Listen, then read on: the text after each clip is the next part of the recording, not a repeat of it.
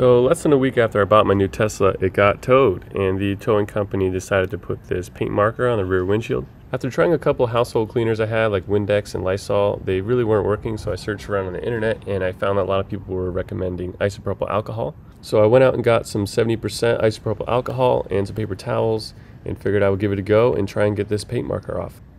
I basically just dunked the paper towels in alcohol to try and get as much of it on them as possible and then I just started scrubbing on the paint marker. I wasn't really sure if it was working at first, but as I kept going, it slowly but surely started coming off. It did take a decent amount of scrubbing, I'd say probably about 10 to 15 minutes or so, and I went through about 4 or 5 sheets of paper towels.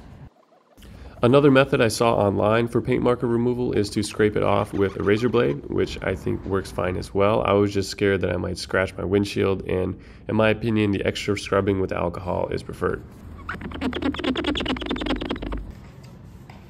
And with a quick final wipe down, it was all off. I hope this video was helpful for you if you were trying to get paint marker off of your own car, and please leave me a comment if it worked and you were able to get it off. Thank you for watching and have a great day.